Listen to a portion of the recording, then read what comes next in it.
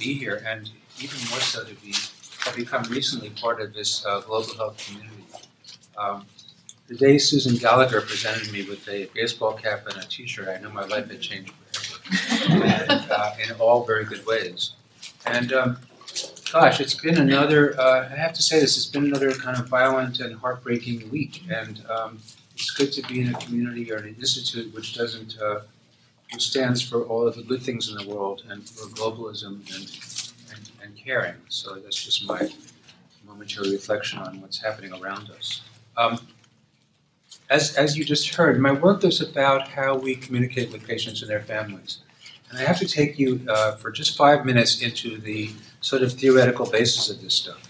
And then we're going to travel around the world and look at different ways that this is, I've been able to teach or learn about communication skills in a, variety of different low and middle income countries. So it all started with uh, this book, in my opinion, which is a very meticulous uh, uh, work about conversation analysis, and now analyzing conversations between doctors and patients that came out in the 1960s or 70s. And uh, I teach a global health focus course, and as Asha knows, this is like the this is the centerpiece of the whole course. And the kind of conclusion that came uh, that came out of this book is essentially uh, talking about there being two different worlds, and that um, the voice of the life world is what patients and their families understand, which is everyday life, experiences, events, financial problems, social problems, the burden of living with chronic illness, either in an advanced country or a low and middle income country, and then on the other side is the voice of medicine, which tends to be very scientific and technical. And uh, there, no matter where you are in the world, I think that the task of communicating between those two voices is enormous. And then, depend, and then if you're in a, if you're communicating across cultures, or with uh, limited resource, uh, a system with limited resources, that those barriers become even more enormous. And that's what we're going to be talking about today. How does one help healthcare providers overcome those barriers.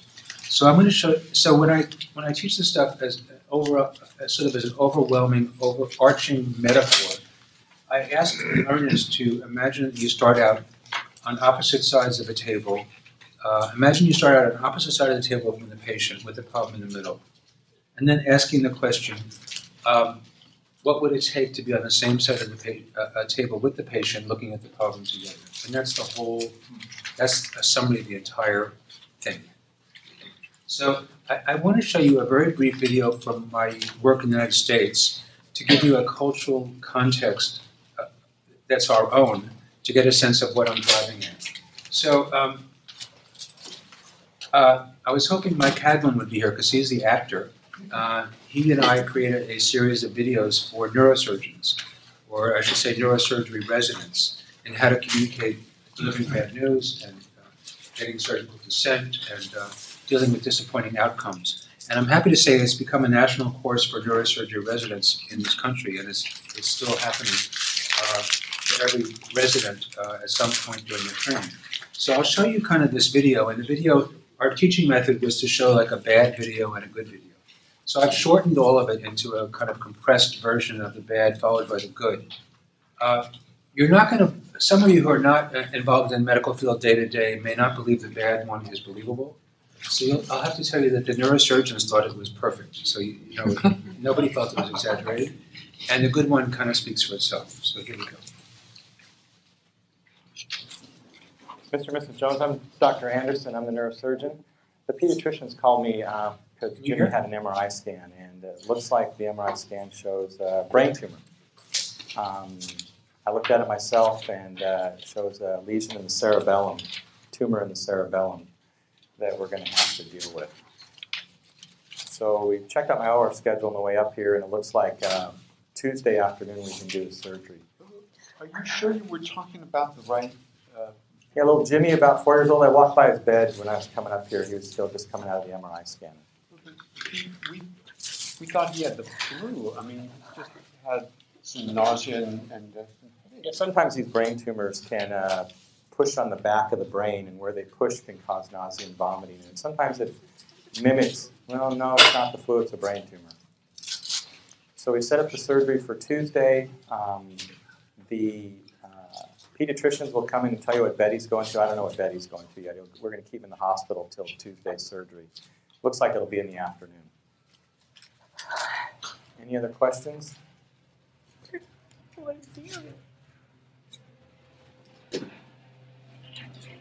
Hi, Mr. and Mrs. Jones. I'm Dr. Anderson, the neurosurgeon. It's nice to meet you. Um, can you tell me a little bit about what's been going on with Jenny? Well, Well, go- go ahead. he's, he was sick last week, just last week, having you know, throwing up and headaches and just really intensely sick and just not kicking it. Yeah. So we we know there's a flu going around, so Yeah. we just wanted to make sure it wasn't anything more serious. Yeah, just worried about his immune system. And then they, they us want out. to give him an MRI here, so Yeah. Just they said to hold things out, but he's been gone for four hours and been waiting, so. Yeah. So you, you've uh, you've been sick for about a week and throwing up and headaches, and I know you've been waiting a long time. I'm sorry about that. They have, they have to sedate him a little bit to get him to hold still for the MRI scan. is he scared? Is he okay? He's okay. I just saw him, and I was he's uh, basically like waking up from a long nap. So he's moving around. He looks fine. He's opening his eyes, but he's still not kind of back to his normal self yet. The nurses are watching him really closely, and everything's fine with him. Um, I looked at the MRI scan. Uh, I'm afraid I have some bad news for you. It looks like he's got a brain tumor.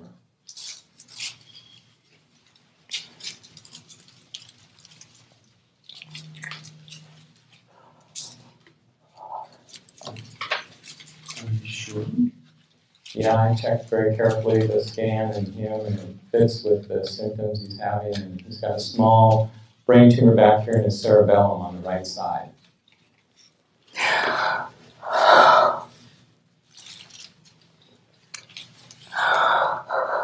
I just thought he had, the- you know, we thought it was, I mean, we, we thought it was kind of silly when he The came in flu. today.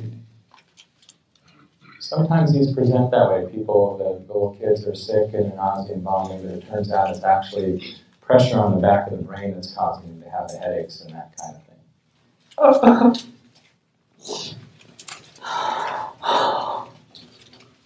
This is really a shock. I just, I just, um, I'm so just I didn't even know why they wanted to do the MRI, Oh my god. I know this must be really hard news to hear. Is he gonna be okay? He's going to be okay. We're going to be with you every step of the way. Um, do you mind if I tell you a little bit about what the plan's going to be, what, we're- what the next step is, so we can keep taking good care of him? So that I can tell you one thing. Looking at the MRI scan, So those are the kind of skills we uh, try to teach, and um, there are skills that are teachable and learnable. So, uh, in my opinion, uh, most healthcare providers uh, have have the capacity for empathy, but often don't know the words to express it. And so, when we teach courses to medical students, residents, providing uh, practicing physicians, midwives, nurses, uh, they're all about giving um, providers the, the skills uh, to communicate. Uh, with empathy. And um, it turns out that uh, even though it turns out that in the United States this has become sort of standard practice in every medical school in, in the country to have a course in how to communicate with patients and their families. But for a variety of reasons, and in Europe more or less, and but for a variety of reasons, it's not so much the case in low and middle income countries. And uh, the, the situation that doctors and patients face is not terribly different which is to say that half of the work of a doctor, in my opinion, is how we communicate with patients and their families. And it's not intuitive, and if there's not a course to teach it, then uh, it may not go well. So I began to imagine, uh, after 10 years of doing creating videos of this type, what it would be about to, t- create a course in a medical school in, uh, in, in sub-Saharan Africa or in Ethiopia. And so and Ethiopia. And so I started to look at various possibilities. I was able to get a Fulbright to work in Durban. I had a brief uh, experience uh, creating, helping to create a course in Botswana, and then uh, later in, in Gondar, in the historic uh, northeast of Ethiopia. And it's been a journey uh, where I've learned I probably learned more than I was than I taught, and but there were some wonderful collaborations and some I think reasonably good results. Um, my starting point was this uh, man named Joseph Buthelezi. Joseph is the Joseph leads two lives. He is the caretaker or sort of janitor in my mother-in-law's apartment complex in Durban, and he's also the head man in his village, uh, where he where he engenders a lot of respect. And he and I kind of sit down once a year and have tea, and he asked me about what I'm doing. And when I told him sort of my overall arching concept of the Fulbright project I was doing in Durban, he said to me he knows exactly what I'm talking about because when he goes to see his favorite doctor, he feels like he and the doctor are singing the same song. And I thought this is a much better metaphor than being on the same side of the table. Uh, much more poetic, much more African, much more musical, much more everything. And so that's become the theme of my focus course, of my, about everything that I do is about singing the same song. So then um, there were a couple of other sort of uh, aha, aha, moments in this process of my imagining uh, facilitating the creation of medical school courses.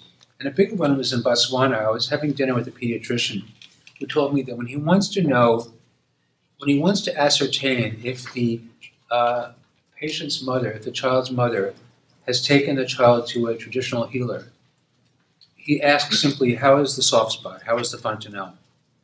Because if he asks directly, in many cases, the mother will feel hesitant to give the correct answer. But it's a code in the sense that the mother knows that that's the, that that's the part of the body the healer focuses on. And by asking that question, it opens the door to the answer, which is usually yes, but not always. And then you can find out also what the healer recommended. And at that moment, it dawned on me that, in fact, the task of creating a course in a place like Botswana would be to accumulate this wisdom and turn it into a curriculum. That every, every country is so specific with respect to the words and gestures that communicate empathy and help us to get information that you'd have to just really sit down with people who know and, and who know the language, the culture, and medicine, and then make this happen. And that's been my kind of dream goal plan uh, ever since. And so, uh, and it varies enormously. In Kenya, um, I, I, did a focus group with a bunch of uh, patients in a clinic, and uh, we were sitting in this town, sort of in the marketplace, and I was kind of naming all of the skills that I routinely teach to the residents, like you saw in the video. And the one I, I, mentioned a few, and then I said, "What if the doctor said, I'm sorry you had to wait so long today?" And it was instant excitement. Like this would be the most amazing thing that a doctor could say, given how long everybody's waiting and nobody seems to care. So that was an easy one to incorporate into a training manual or a curriculum. And then finally, when I was up, I was doing some work at a AIDS. Um, home health care center in Ixopo, South Africa, called Wozamoya. And the uh, healthcare workers there have a very low rate of turnover and a remarkable high level of job satisfaction. So we studied, uh, we studied what it was about the culture in that center that created uh, such, such fulfillment. And one of the things we noticed is in the, uh, when, the, when the healthcare workers had their monthly meeting, they would sit in a circle, and each woman would talk about her accomplishments and her challenges. But more so, after every woman spoke, the woman sitting immediately to her left would say, would say back to the group what she had heard. And it struck me at that moment that if there's anything universal in our desires in terms of healthcare, it's maybe this desire to know that the doctor was listening, to know that we've been heard. Uh, the technique we use here is to simply say back what you heard to the patient, which often has a uh, for the providers in this room, that often has a, a remarkable impact, and you can see it happening in that very moment. So that was kind of some of my uh, thoughts about medical school courses, and I, I, didn't mention Ethiopia very much, but that was the most exciting in, in some respects because the university pulled together a committee of anthropologists, sociologists, psychologists, and doctors to create the foundation for the course, and that was exactly what we needed. And so I think that in future, the collaboration with social scientists is, is very critical to this mission for two reasons. One is because they can speak accurately to the culture and the language. But uh, something else that I wouldn't have imagined, which is that the anthropologists and sociologists were like patient advocates. And the reason for that was simple that the doctors treat each other like VIPs. So no doctor ever experiences the health system as it really is. They, you know, they make house calls to each other's houses. So only the anthropologist knew what, what happens when his mother got sick that he could explain to us how bad things are and how much they needed to change. So that was a, a, an unexpected benefit of involving everybody in this process. So um, I'm going to, about uh, three or four years into this work, um, I, I actually um, was contacted by somebody at FHI 360 about the, the concept of doing some work around respectful maternity care. So it's become, as most of you know, this has become a worldwide issue that's a big focus for the World Health Organization, and it pertains to the way women are treated during childbirth. And there has been identified a number of ways in which, in which women are often uh, neglected and abused uh, during the birth process, uh, yelled at, uh, hit, uh, uh, verbally abused, not given privacy, not allowed to have a birth companion present in the room, all the things that make transform childbirth into a miserable experience. And so there, around the world, there's also been an attempt to respond to these worries by creating uh, various curricula in, in respectful maternity care. So I've done this on two different continents. I'll briefly mention my work in Chile, because it was different in so many ways, and then focus on what I've been doing in Ethiopia. So the work in Chile is in a very small uh, university in a very uh, relatively small city in the south of Chile in Patagonia. And um, the course, I was asked to create a brief course for the midwifery students in how to communicate uh, with empathy. And so um, I'll just say in advance that uh, midwifery in Chile is a complicated story, uh, and as is obstetrics in general, because Chile is one of these countries with an astronomically high rate of cesarean sections and nobody seems to know agree. No, no, I wouldn't say no. Nobody seems to agree upon why. So the doctors make up a story I think that this is what the women like, want, prefer, and uh, there are many different versions of reality. But the fact is, the rate of C-sections is way beyond what is medically indicated. To the extent that this has been uh, termed by the uh, the activists who are trying to change this around, and also make this a more respectful process in general. Call this violencia obstetrica, which is obstetric violence, which is a very loaded term, but I think accurately describes the way they feel about the experience. So, and the problem is that the midwives don't have very much power, and so they're kind of at the mercy of the obstetricians and may not have any way to affect this reality. So we created these respectful maternity care workshops uh, for students, and uh, the students are all uh, local. They're all from that area of Patagonia. So they brought a lot of their own life uh, story to the classroom.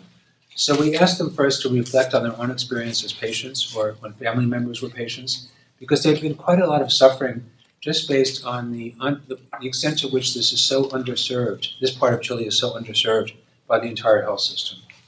And then we showed them a series, a, a single video of uh, from a website uh, about a, a, website from an organization that's fighting against obstetric violence, and uh, it was a video of a, te- a testimonial of uh, a woman talking about her experience in a public hospital where she was treated really abused, and um, I will I'll come back to this theme in a few minutes because. The, the use of testimonials as a vehicle for teaching, to me, is I've just be, I've just begun to understand how profound that is. And I don't have this testimonial to show you, and, and actually it's only in Spanish. But basically, the story is very, it's about three minutes long, and it's, it's strong. It's very, very strong. And then I just asked the students to reflect on their impression. And one of the students kind of summarized what they were all feeling, I think, or many of them were feeling, which said it made her feel triste y rabia, which means sad and furious. And I thought, hmm, that's a very that's that's a pretty good combination for what we're trying to accomplish. Because sad alone is not going to change anything. But sad and angry might actually be the beginning of things uh, of transformation. So then we actually discussed essential communication skills, and we had a wonderful local actress who helped us do role play. So we actually were able to practice some difficult conversations uh, with the actress, and it was just um, it was very exciting to sort of have this course in its first iteration and see how well how well the students responded to their experience to the experience. So now I'm going to switch continents and talk about Ethiopia.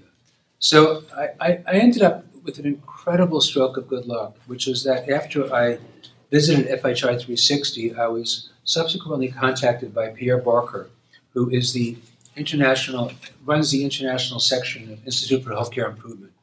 And for those of you who don't know, IHI is based in Boston, and it's a organization with a very large um, amount of work in the United States, but also now in several low and middle income countries that has to do with quality improvement in healthcare.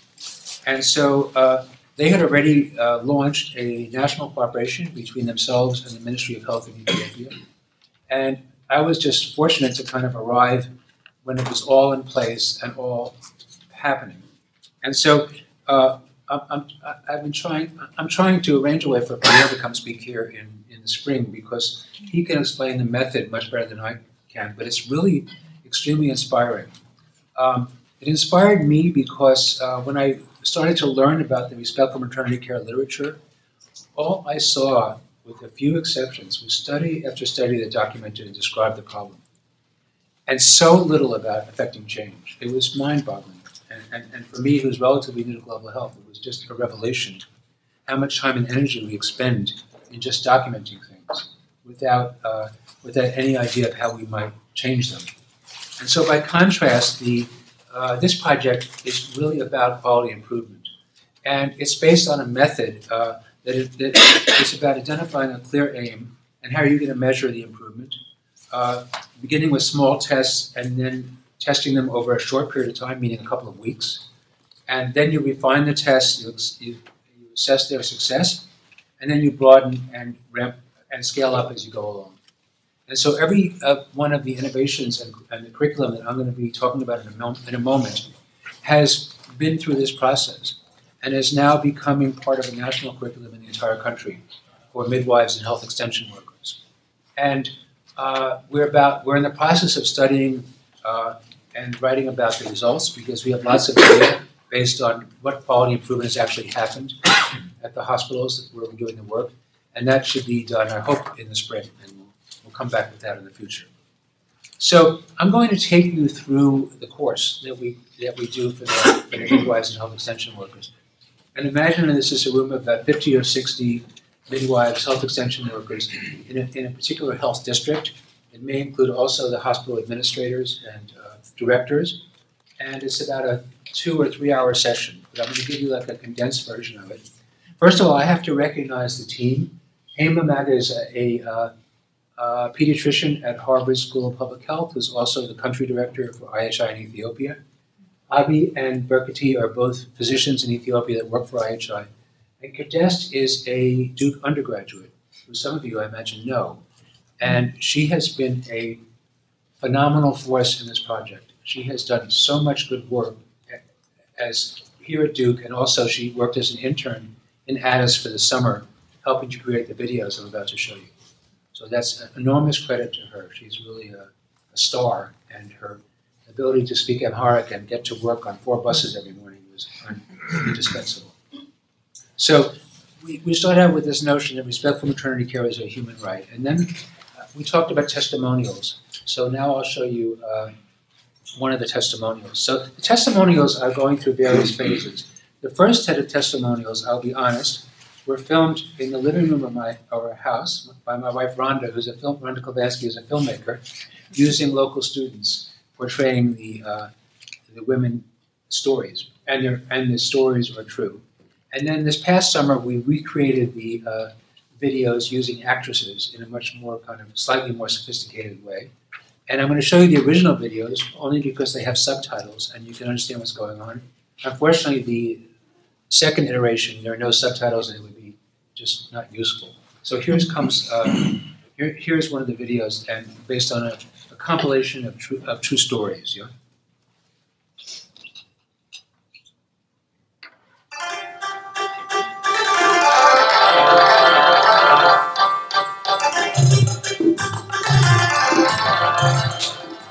ልጅ የመውለጃ ጊዜ እየደረሰ ነው።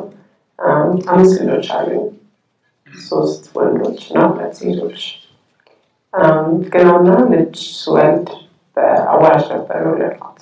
ሆኖም ግን ልጅ ህይወቱ አለፈብኝ። ስለዚህ አሁን ለመውለድ ጤና ጣቢያ ሄጄ ለመውሰድ ወሰንኩኝ። ሆኖም ግን አማቺና አዋላጇ አልተስማሙም። ግን የጤና ኤክስቴንሽን ሰራተኛዋ በውሳኔ ተስማማች።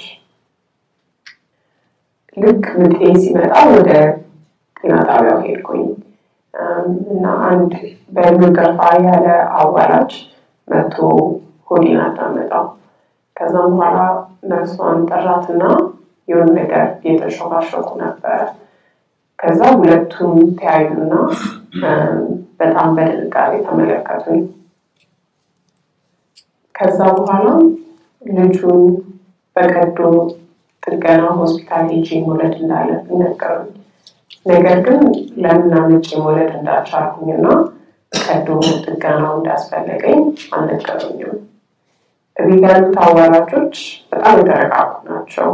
እዚህ ያለው አዋላጅ ግን የሚያደርገውን የሚያውቅ አይመስልም። የአምቡላንሱ ሙሉ ወጪ መሸፈን እንዳለብኝ ስለማቅ እና ደግሞ ብዙ ገንዘብ ስለሌለኝ የወጪው ነገር አሳስቦኝ ነበረ። ከዚህ በፊት ሆስፒታል ሄጄ ባላቅም ግን እንዲሁ በወሬ ስሰማ በጣም ውድ እንደሆነ አውቃለሁ። ግን ስላሳፈረኝ ስለ ብሩ መጠየቅ አልፈለኩም ነበር እና አዋራጁ ፊቴ ላይ ማቅማማት ሲያይ አሁን ሆስፒታል ማንሄድ ከሆነ ልጁ እንደሚሞት ቢነገር፣ ስለዚህ በቃ ለመሄድ ነበረ። ከዛም አምቡላንሱ ሁለት ሰዓት ሙሉ ቀይቶ መጣ። ልክ እንደመጡ ማንም እየተጣደፈ እኔ ለመውሰድ ጥረት የሚያደርግ ሰው አልነበረም። ከዛም በኋላ ለአንድ ሰዓት ሙሉ ኮረኮንች ላይ ከተጓዝን በኋላ ሌላኛውን ደግሞ ሰዓት በጣም በስቃይ ሆኜ ሆስፒታል ደረስን። አምቡላንስ ውስጥ መቀመጫ ስላልነበረ ባለቤት አንድ ላይ ሊመጣ አልቻልም። እንዴት እንደሚመጣ ባላውቅም እዛ ሆስፒታል እንገናኝ ብሎኝ ነበር የሄድኩት። ልክ ሆስፒታሉ ጋር ስደርስ አንዳንድ ሰዎች ተነጋገሩና ወደ መውለጃ ክፍል ወሰዱ። በጣም ስቃይ ስለነበርኩ ምን ምን እየሆነ እንደነበረ ብዙም አልገባኝም ነበር።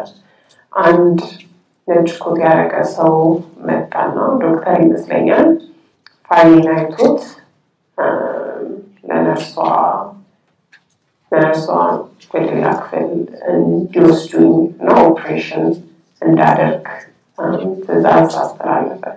ግን ኦፕሬሽን ማድረግ እንደምፈልግ ወይም እንደማልፈልግ ከኔ ፍቃድ አላገኙም ነበር። ልክ ስነቃ የልጅ ህይወት ይትረፍ ወይ አይትረፍ ምንም አውቀው ነገር አልነበረም። ቤተሰቦች የት እንደነበሩ ምንም አውቀው ነገር አልነበረም። ከዛም በኋላ ዶክተሩ መጥቶ የልጅ ህይወት እንዳረፈ ነገረኝ።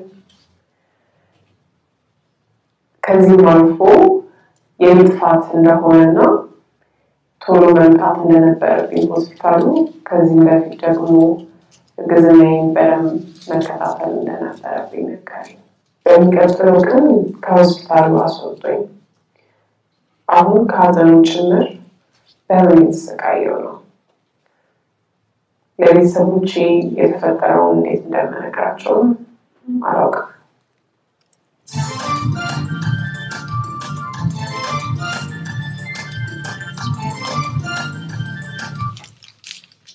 So this is um, not a typical story, but it's certainly a true story.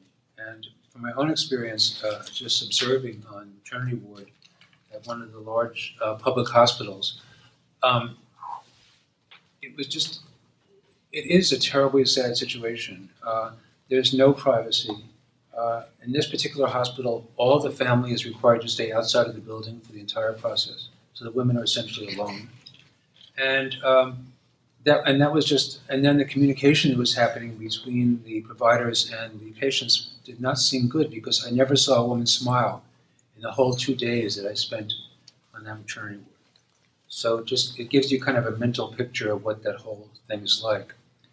And we actually used these, we had three testimonials, and we used them to just engage the learners in a a process a, a process of reflection because uh, just by humanizing the, the patients, the women giving birth, uh, it, it seems to be a very important first step to creating a connection and a caring on the part of the midwives and health extension workers who may be frustrated, overworked, uh, tired, and um, and having a very hard time as well. And so we, we asked them to write about each uh, of the videos, asking the questions How did the woman's story make you feel? Uh, what did you learn? And is this relevant for your, for your facility and for you personally? And those are the three questions we kind of um, asked them to reflect on, and then uh, we speak as a group about our, our reactions to the films. And the interesting thing that happened in the course of this process is that the health extension workers, who are the ones who are kind of the lower part of the totem pole, uh, really came to life and started to take a much more active role in the process, uh, in the learning, in the learning process. So then we actually have a discussion in small groups about uh, the healthcare profession. Uh, um, sort of what made you think about becoming a health provider, and how does it compare with the way things are in your life? And it's just a way of getting people to getting the uh, providers to think about the quality of their own professional life and how, how maybe they had strayed from their original intent to be helpful and, and caring towards uh, patients and their families. And after that, we just uh, try to explain uh, the concept of respect for maternity care. And it has to do with uh, these kind of um, World Health Organization dictated uh, criteria, which is about information and informed consent, companion, confidentiality, dignity, freedom from discrimination, and right to continuous care and attention. And this has been translated into Amharic, so it's available uh, through the World Health Organization as a poster and as brochures and so forth and so on. So we try to um, we try to at first present an evidence-based uh, view of what is the current, what is the current situation in Ethiopia, and it's based on a number of the studies that I mentioned that that that did measure the severity of the problem. And also ask the question uh, why do women prefer home births? Because to date, uh, despite the fact that uh, the, the, government is advocating for hospital or facility based births, the vast majority of births are by traditional birth attendants at home. Often in areas where, if there is a neonatal emergency, there's no way to get to the hospital in time. So it's kind of an automatic uh, fatality. And so uh, we, they kind of asked the question of the women who are still giving birth at home, well, why have you decided to do this? And the major reason was simply the uh, poor quality of service and disrespect that women were experiencing uh, at the health centers. And particular quotes that uh, I'm afraid of delivering there, they don't allow my family members to accompany me. They leave us alone on the delivery couch, and everybody who comes in and out of the living room watches our naked body, which is quite embarrassing little respect from health workers. I won't have these problems if I go to a traditional birth attendant. Go to the health facility only as, only as a last resort. And then uh, a look at the kind of care itself in, in, a, in particular centers in Addis, which, uh, among other things, the provider didn't introduce themselves uh, or ask, did not encourage me to ask questions, didn't explain what's being done uh, throughout labor and birth, uh, no updates. Uh, there was no consent for procedures, as you saw in this story. Um, no curtains or visual barriers to protect me, and uh, lack of politeness and intimidation, threats, or coercion. Uh, they didn't encourage me to call if I was in pain, and they often left me alone. So those would be the kind of things that were reported, and very similar to what I witnessed in several hospitals um, during my stay there. So then the question was asked, what would evaluate women? And this is all part of our presentation. So we're trying to set the stage for change by giving the evidence of what the problem is. And so then we talk about an evaluation that was done by the Ministry of Health about what would motivate women. And uh, they wanted to have more choice in delivery, um, choice of birth position, uh, more, to experience more empathy uh, in the, in the um, birthing environment. This is a very Ethiopian request, but very, very, mm-hmm. uh, very strong one, which is coffee and porridge ceremonies. So the end of uh, at, after a happy birth of a young, a little baby, the, you have porridge and you have a, what, what Ethiopians call a coffee ceremony. Now I take it back. They don't call it a coffee ceremony. We do, because if you listen to a conversation among Ethiopians in Amharic, it sounds like blah blah blah coffee ceremony, blah blah coffee ceremony. And when I asked them why is there no word in Amharic for coffee ceremony, they explained to me that actually it doesn't. It's just coffee to us. We don't. We don't. We don't think of it as a ceremony. So, but in fact, that's the thing that I'm describing is what was wanted and lacking at, at the health centers. And um, family support, which is kind of critical. Uh, and so then we talked. So we, we created some quality improvement projects that were around the issue of privacy and the issue of birth companion. So that hospitals decided uh, as a group or the midwives at a hospital decided as a group that in the next month, six weeks, they were going to actually afford privacy to women by putting up curtains or invite birth companions into the delivery suite. And they were going to measure that result and then report back. And so there was sort of a very particular goal that's, that could be assessed. And if it hadn't happened, one could go back and try to figure out why. And that's that whole process of, of continuous quality improvement that seems to work so very well. So that was the one piece. And the second piece was about particular communication skills, sort of the Ethiopian version of the neurosurgeon, but I hope much more rooted in the culture and language of, of the country. So actually, we, we started out with the equivalent of the bad video, and this is a video we actually filmed in Gondar when I was creating a course for uh, medical students, and I'll show you that first. Oops.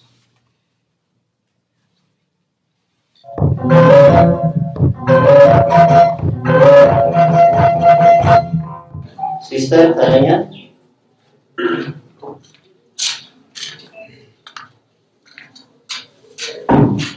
አንቺ ግን ስራሽን ሰጥተሽ ብለሽ የምታስቸግሪኝ ለምንድን ነው? ከቅድም ጀምሮ በተራ ይሰራል እና ሌላ ተቀምጠው በሽተኛ አለ አንቺ ብቻ ነሽ። ስንተኛሽ ነው ዛሬ? በሌሊት መቼ? ለምንድን ነው?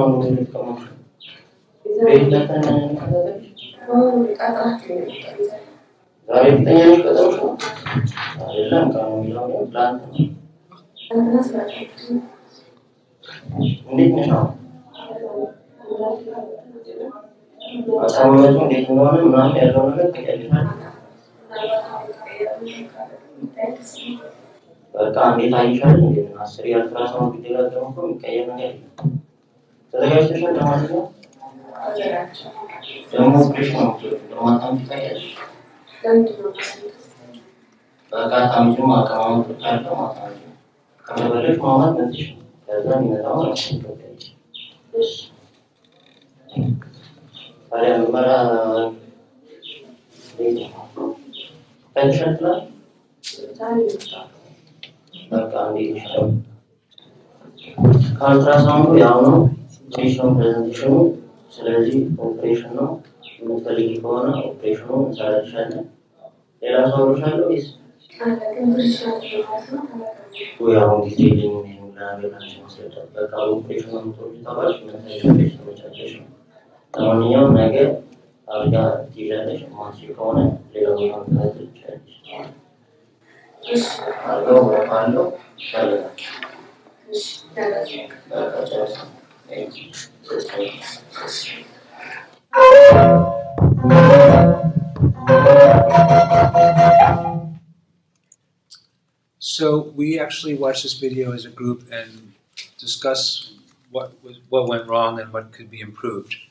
And then we've started to create a series of videos that show a better kind of communication.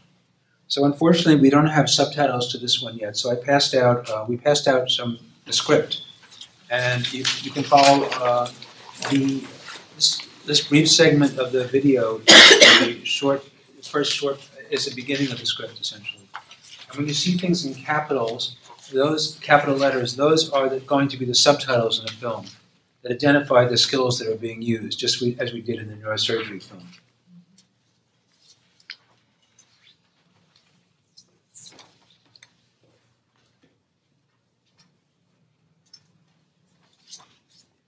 En cuanto a los detalles, miro decir, en poder apuntar en cada cápsula y en una canción. Y las últimas.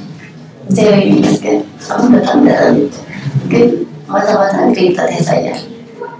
የመጀመሪያ ጊዜ ምንም የሕክምና ክትትል ሳላደርግ ነው የወለድኩት። ከጥቂት ጊዜ በፊት ሕክምና ግን ከትንሽ ወራት በፊት እህቴ ስለወለደች እኔ ወደ ጤና ተቋም መጥቼ እንዲወልድ መከረች። ለዛም ነው የቅድመ ክትትል ሕክምና ለማድረግ የመጣሁት። ጥሩ ተሞክሮ ስላለ ደስ ብሎኛል። ትክክለኛ ውሳኔ ነው ስለዚህ ደህና ነሽ ማለት ነው ከእግር ወጣቱ በስተቀር። ስለወጣቱ በኋላ ላይ በደንብ እንነጋገራለን በሰፊው። የሚኒስትሬሽን ካርድ ላይ ግን እንዳየሁት ሁለተኛ ነሽ ይላል። እንኳን ደስ አለሽ። አመሰግናለሁ በጣም ግን ያለፈው ዓመት ሌላ ልጅ ለመውለድ ሞክሬ ስለሞተብኝ በጣም ጨርቄያለሁ። ጭንቀትሽ ይገባኛል። ይህ ጭንቀትሽም ደግሞ የሚጠበቅ ስሜት ስለዚህ ይህ በድጋሚ እንዳይከሰት እኛ የተቻለን ብሎ እናደርግሻለን። ሁለተኛ ልጅሽን በማገዝሽ ምን Então, desse projeto. Sinto que estou. So we're trying with several of these videos. There's another video of a woman giving, uh, coming into the labor, delivery ward in labor, and inviting, and the midwife inviting the birth companion to be present, and helping her to help the mom uh, with the, with uh, having her baby. So we created these these alternative videos to suggest what empathic communication looks like, and then we just go through the skills. And I'll do that a little bit quickly. But we ask the uh, we ask the midwives and health extension workers to introduce themselves and create a partnership. Uh, and these are all in a teaching learning manual that they take home with them.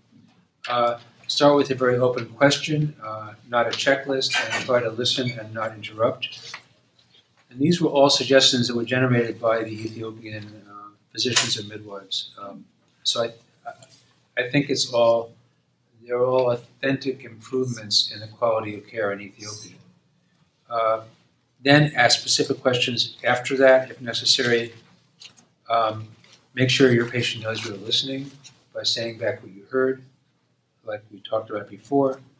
Uh, recognize and name the emotions that the mother is feeling, whether it's worried or frightened, uh, and, and validating those emotions.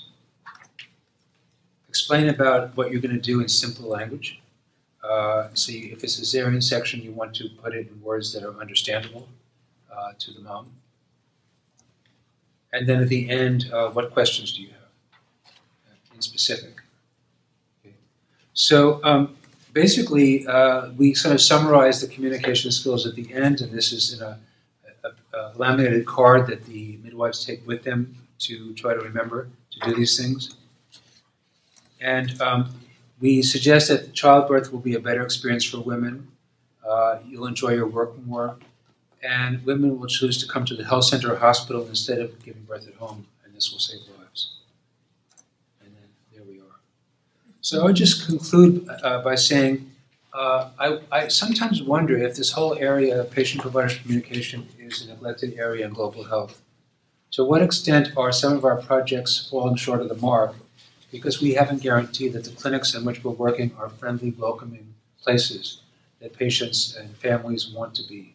and what other ways can one use communication skills to save lives? And I'll point to one study that was one of my favorites, which was a study that was done by two uh, speech pathologists in, uh, in South Africa.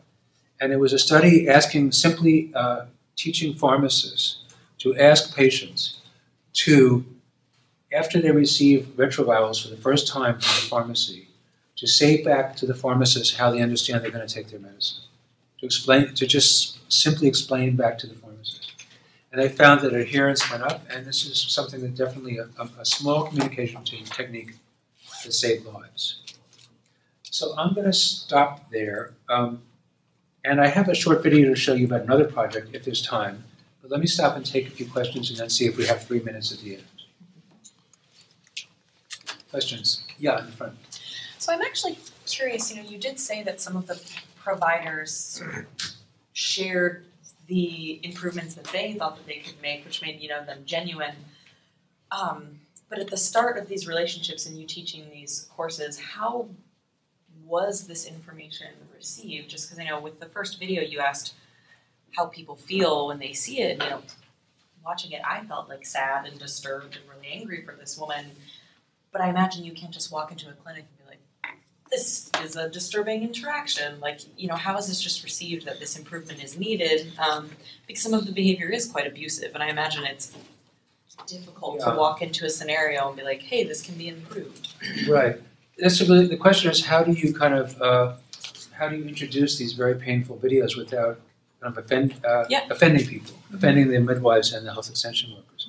It's a really good question. I think, let me just say to, from the start, that this is not done at the beginning of the entire learning process. This is learning session number three, which is to say there's always already a trust relationship, we hope, between the learners and the, and, and, the- and the, and the trainers. And so I think that helps a lot. I think that um, it's hard to say.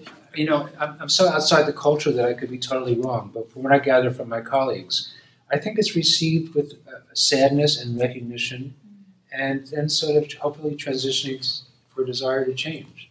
And and the women working as midwives and health extension workers may have uh, very valid complaints about their working conditions that make make it very hard to spend time doing all this stuff. And that has to be part of the conversation as well. As long as we welcome that piece, uh, I think it goes well. There are studies and projects that seem to really blame midwives for the problem in a very, in a very unpleasant way, and that's where I think you get into huge trouble. There's a hand way in the back in the corner. Yeah. Um, I have a question. One thing you mentioned was how some providers don't have the right words to express empathy. Um, and I wonder when you when you look at how they lack these words, do you think it's a combination of uh, sort of systems processes not giving providers enough time to ask the right words, or if it's also an empathy deficit? And if it's both, um, does the so to speak treatment change? You know, so, so I guess I would give an example. If I um, if I didn't have time in the in the duration of a session to ask really nice questions about how the patient's feeling or to have them rehearse the medication um, details, I can imagine getting instruction on how to do it and then feeling more frustrated. Um, I could also feel frustration um, as like a sociopath, uh, you know, being taught these empathic Right. skills and just being like, this is stupid, I'm here to make money and uh, I don't care. So I I wonder, you know, in, in those two extremes, how you balance those two extremes, because I imagine they're very, they're very similar in presentation but different in ideology. it's such a great question. Um, yeah, so let's talk about them separately, obviously, because they look the same, but they're obviously not. So the issue around um, do I have time to do this, you know, or is it just too the clinic too busy? Is it's really complex and it varies from country to country and clinic to clinic and, and provider to provider. So, and I think there's a variety of possibilities. I think, at least in this country, uh, where we're not seeing, uh, you, so let me go back. In Ethiopia, you may be seeing 60 patients in a half a day, or 70 or 80. So, kind of, let's put that aside for a moment and get back to it. But in a country like here, where you're seeing maybe, you know, a considerably smaller number than that, I think uh, it's often a question of uh, uh, that the not enough time is kind of an excuse for not being empathic, and uh, one can learn how to do this in just a short period of time. You can take those same 8, 12, 15, 20 minutes and turn it into an empathic experience. That I know for a fact. So I think that uh, you have to sort of judge is this an excuse or is this is the reality? If it's uh, 60 or 80 patients a day, you have to work within that framework, unfortunately. And you have to try to fashion things that are, that are possible within the framework. It may just be the doctor should introduce him or herself and uh, call the patient by their name and apologize for the wait. You know, it may be something so simple that it'll at least move things in a better direction. So that's that. The sociopaths, um, it's a tough one. I, I, I think they're fortunately in a small minority uh, in the whole society and in medicine.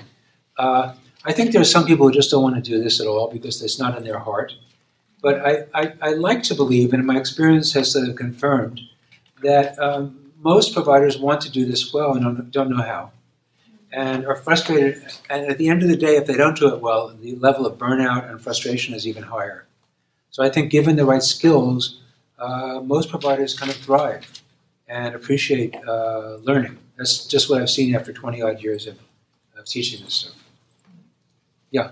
Well, I kind of like to riff on his question a little bit. Yeah. I've been a healthcare worker for about 10 years. And I don't think it's a dearth of empathy that we're lacking or seeing, at least in my experience, even though these horror situations definitely happen in the hospital every day. But I can't help but think that maybe it's the system, because it's based on profit, it's mm-hmm. business oriented, that that is sociopathic. and that is ultimately going to be our problem, even if we train empathic providers. They're working within a system that sees patients as commodities, Yeah. that doesn't look at the right to human health, and we'll have a kinder, gentler, capitalistic, Yeah. business-oriented healthcare system, but we'll still be leading people down towards poor health outcomes, no insurance, not access to Right. medications, things like that. Yeah, I, I, I, I, I agree. Um, I, I, I, um, I'm not sure how to res- I agree, and I'm not sure how to respond. Uh, Yeah, how to respond. But I think we have this obligation.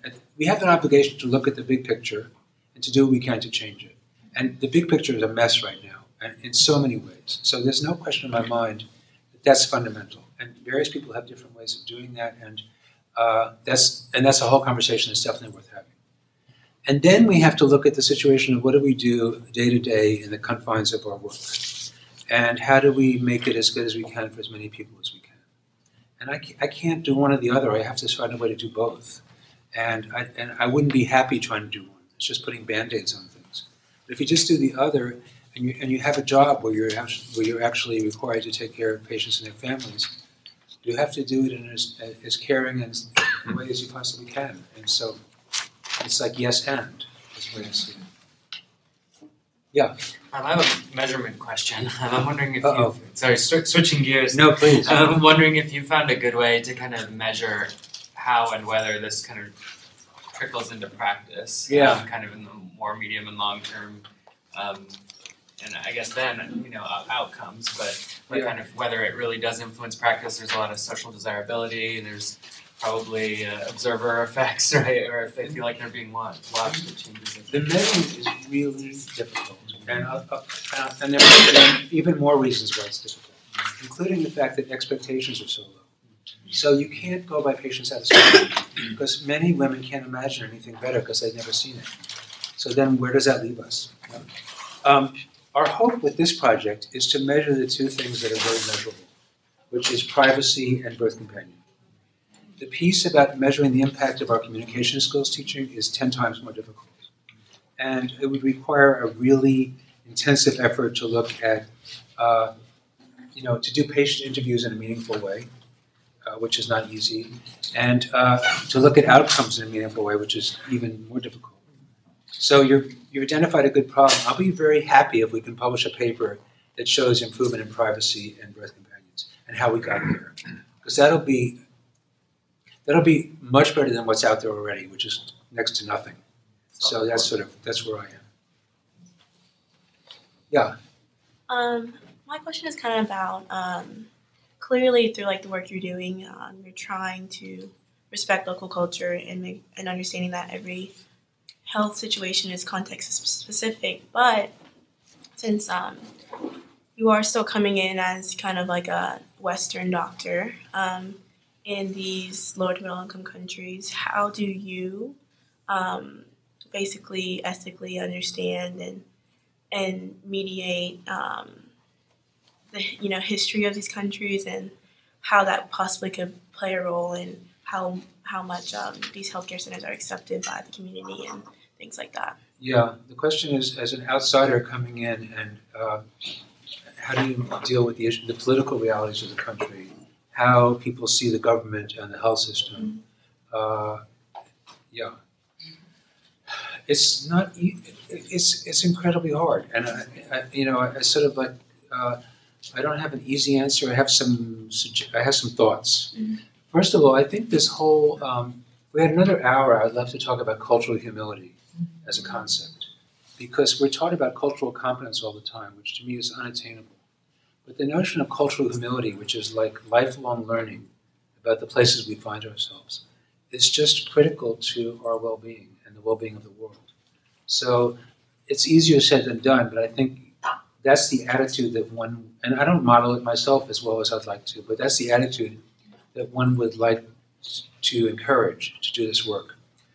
In terms of the politics, uh, in, I'll give you, in Ethiopia, it's it's it's horrible sometimes to do this work in the context of the political situation, because the last time uh, when I was there a year ago, I was in the region that had been most uh, victimized by the government, and there were more political prisoners in Oromia than anywhere else in the country, and everybody had a family member who was killed, who was killed, or many people did, and it was completely unthinkable to talk about it because you just can't because it's it would be dangerous. So you have to kind of you still want to do good in the world, but you're in this unfortunate situation of trying to temporarily make believe it's not happening, and it's very and it's a very uncomfortable feeling. I'm not I'm not I was never pleased with that. Fortunately, there's a new president. All the political prisoners have been freed, and things are changing sort of quickly. So, in some ways, like uh, that took me off the hook. But it's you know you can't go into global health thinking it's going to be like, uh, you know, imagining that's not going to happen. It's, it's, happening all the time. And we have to just be sensitive and aware, and, and we'll still make mistakes. I guess we should finish up. You yeah. I'd, I'd, love to if it's time, yeah? Um, so, my name is Godfrey. I'm from Tanzania.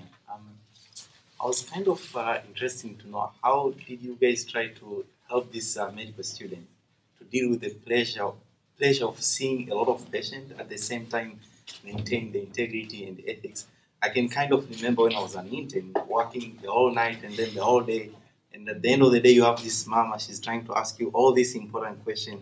Yeah. Why should we do that and this? You know, it's uh, it's important, them, those investigations, they have to be done, but you don't have any longer, like, any ability to answer all the questions. No, it's, it, it, it, yeah, it's grueling work. It's so exhausting, and I've seen exactly what you're describing.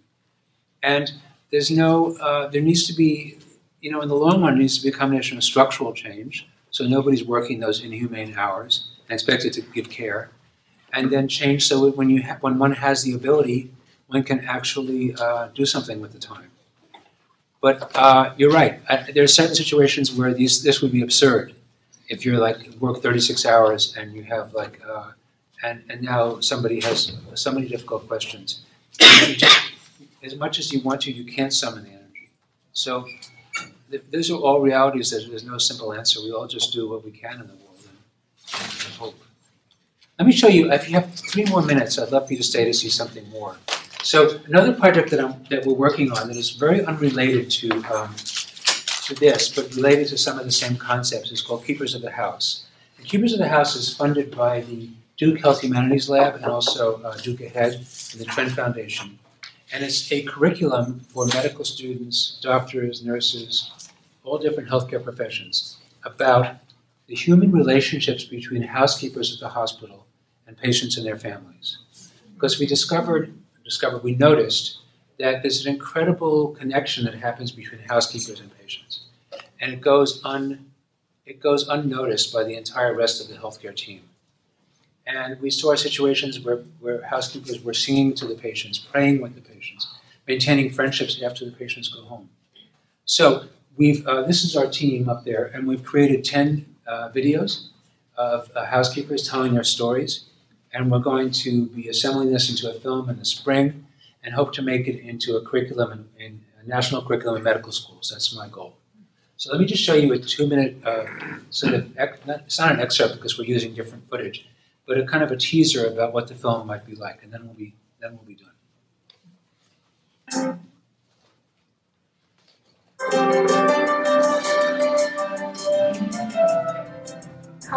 Kimberly McRae, and I'm a housekeeper at Duke North.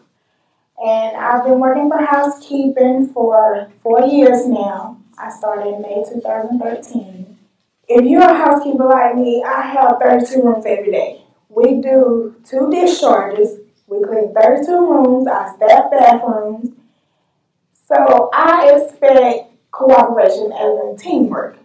I help the patients by interacting with them with a smile, greeting them, even though you might know they're going through pain or suffering, or they might just be a little grumpy because of what the situation is, you know. So if you go in there with good spirits and a smile, that kind of is a small light to say, but there is hope. The floor I work on, which is 6300, I don't have a lot of patients that were code.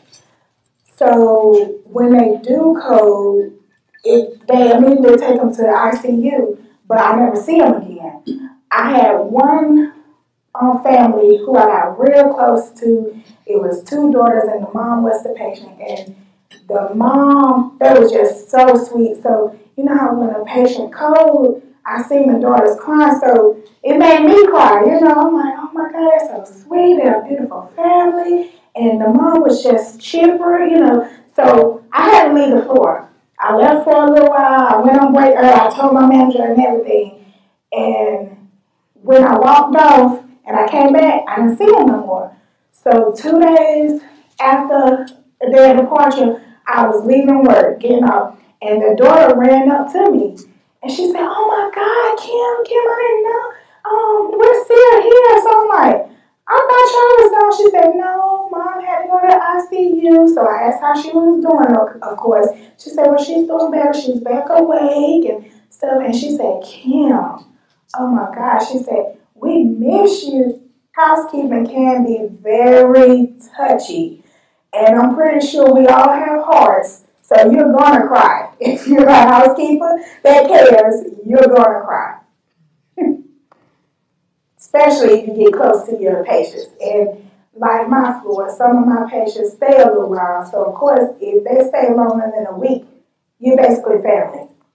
So you're gonna get close to them, and they're gonna want to conversate, and you're gonna know each other. Might not know your whole history, but you're gonna know things about one another. So that's one major thing about housekeeping. You have to have a strong mind and a strong heart because it will break you down to your knees sometimes.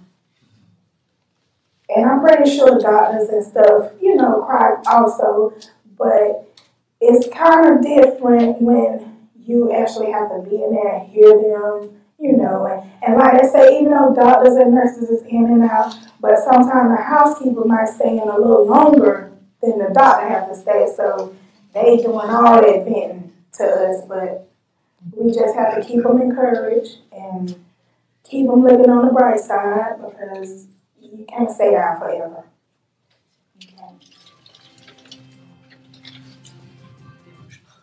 So we'll stop there. Um, we covered a lot of territory. Thank you all for your attention. And the film you'll see in the spring is uh, coming soon.